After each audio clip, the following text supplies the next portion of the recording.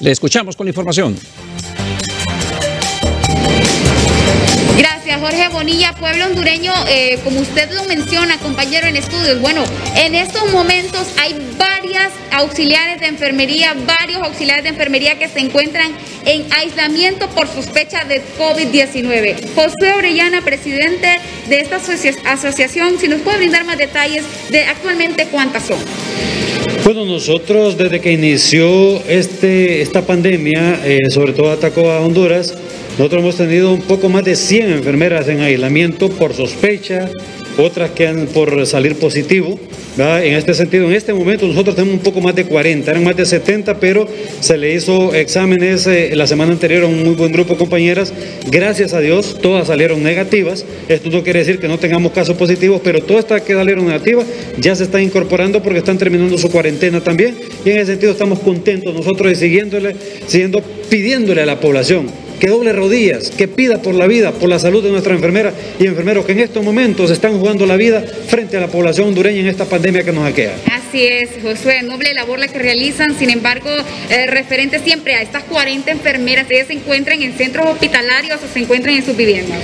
Bueno, eh, están una sola compañera, está ingresada en el Seguro Social de San Pedro Sura, el resto de compañeros están en aislamiento en sus casas, así que esta compañera, debo decir que están, eh, algunas han presentado algún tipo de síntomas, pero que no ameritan internamiento, tienen aislamiento eh, en su hogar, así que esperamos nosotros que no desarrollen ningún tipo de sintomatología mayor para que puedan eh, hacerse el examen de control al cumplir la cuarentena y ver si ya se pueden reintegrar nuevamente a su área de trabajo. Esta es la diferencia entre un ciudadano normal que le decimos que se quede en la casa y nosotros como trabajadores de la salud. Si al ciudadano le da COVID y se recupera, puede seguir allá en su casa, ¿verdad? Eh, con aislamiento correspondiente. Nosotros no. Si la enfermera le da COVID, o está sospechosa, tiene que cumplir su cuarentena y reincorporarse a trabajar, aún con todo el pánico que tenemos en este momento. Es muy importante eso que ha mencionado Josué, reincorporarse justamente a donde están los contagios, en los hospitales.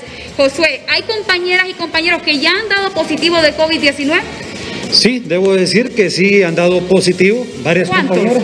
Bueno, yo no podría manifestar públicamente el dato ¿verdad? Porque la verdad que no, no, no quisiera ser alarmista, pero sí hay varias compañeras que han dado positivo por COVID.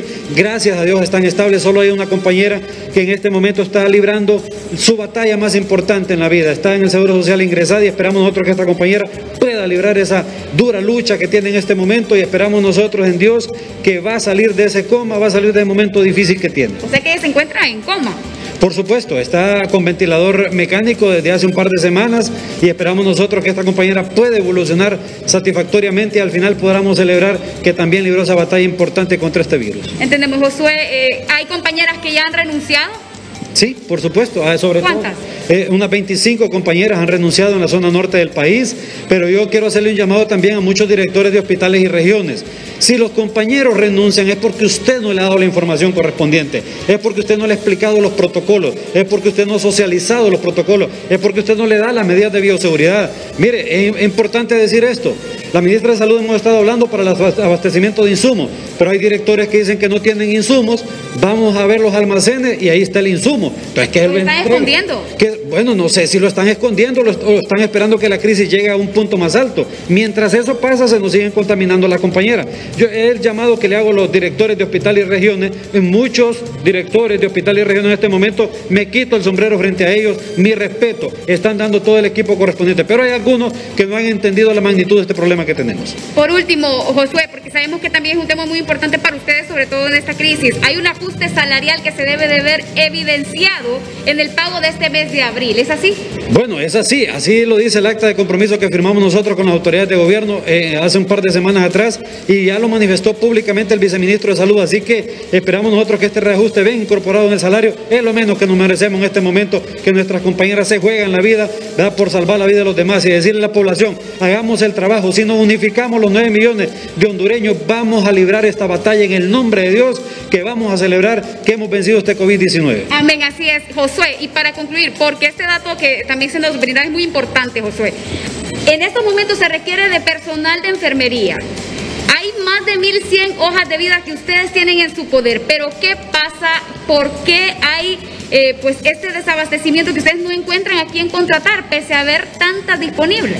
Bueno, antes de la, de la pandemia, pues nosotros ahí tenemos, eh, en nuestra oficina, aquí las tenemos, las hojas de vida de 1.102 enfermeras auxiliares, pero hasta ahora solo un grupo muy reducido ha, aceptado un contrato para trabajar en estas salas de aislamiento. Yo le hago un llamado, aprovechando este espacio importante, a un llamado a nuestra compañera. Nosotros estudiamos una carrera que ya sabíamos que, por ende, por la misma contacto que tenemos con la población, eh, estamos muy expuestos. Así que el llamado, ese reto que tenemos de salvar vidas en este país, ahora en práctica. Nosotros estamos haciendo nuestro mejor esfuerzo, pero necesitamos del apoyo de ustedes en este momento que más lo necesitamos. Así que si ustedes aceptan los contratos que se están ofreciendo, créanme que vamos a poder librar esta batalla mucho más fácil. se han contratado en, el, en, los últimos días? Se han contratado unas 250 auxiliares porque en la medida que se van abriendo las salas de aislamiento en los distintos hospitales y regiones del país, entonces se va haciendo la contratación de recursos. El problema es que los compañeros no quieren aceptar esos contratos. Bien, muchas gracias. Josué Orellana, presidente de los enfermeros y enfermeras auxiliares de Honduras, brindando importante información. Así que si usted